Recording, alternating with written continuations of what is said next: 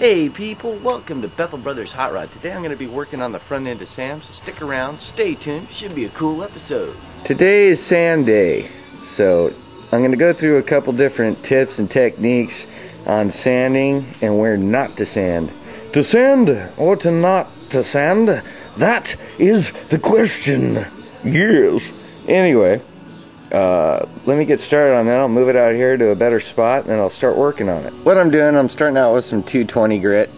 I've got different pieces of foam out here that I can wrap the sandpaper around or a block because I do not want to use just my hand and get finger waves in the primer in between your digits.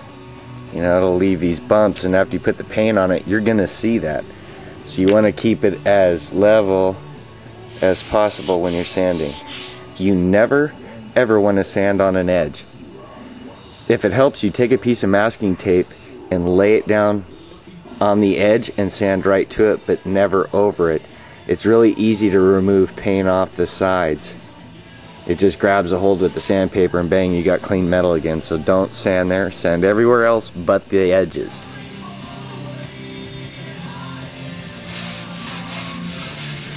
I got the sanding all done.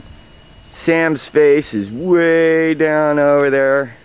Joe came home while I was painting some primer on it over here. He's all, dude, you're getting overspray on the house. so while it was wet, I had to move it all the way down there, which it's better. I'm not getting overspray on anything but the trees and the dirt and the frogs. Got a little bit of a wind, as you can see by Old Glory, flapping up there on the breeze. But I got it face towards where I want to shoot it, which is on the front. I'm going to shoot the back too, but I'm not really tripping about how much paint gets on me from the back. I want to get it on the front good, so I'm going with the wind. And when you got to paint outside, you got to do what you got to do, babies.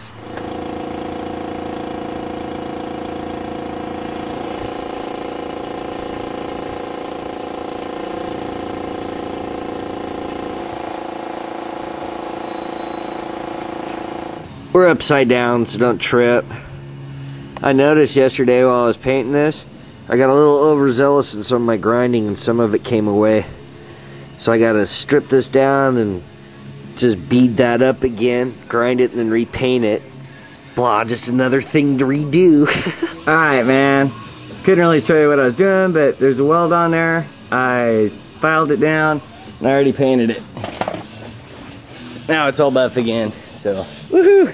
Now it's finally done. Done, done, done, done. Now I can work on this other piece that goes from here across. It mounts to the front of the body. It's kind of warpled. It really shows up when you shine it in the light. See that bend? There's a rip right here and this is kind of warped out so when it's getting uh, tightened down it's like bending so I'm going to reinforce the backside, weld that up, put it back in, blah blah blah.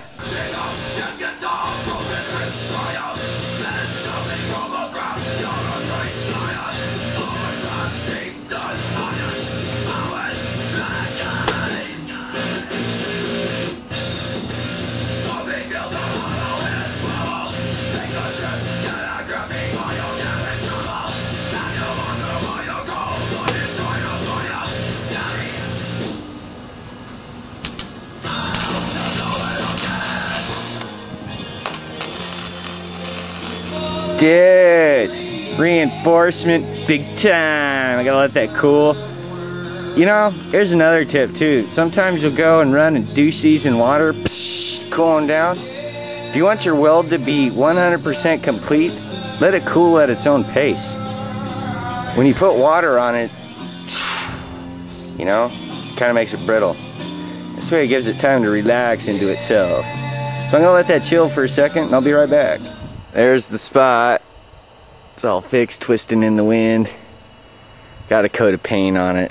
I shot the whole thing, just gonna let it dry. It's kind of what I'm waiting on everything. Ooh, there's a spot back there. I'm gonna have to shoot it again. That's probably gonna do it for today's episode, people. I gotta let stuff dry. Here pretty soon I'm gonna go through uh, some of the electrical stuff since it's all starting to come together and I'm gonna start running lines, fuse boxes, all that other junk. So uh, until the next episode, thanks for watching Bethel Brothers Hot Rod.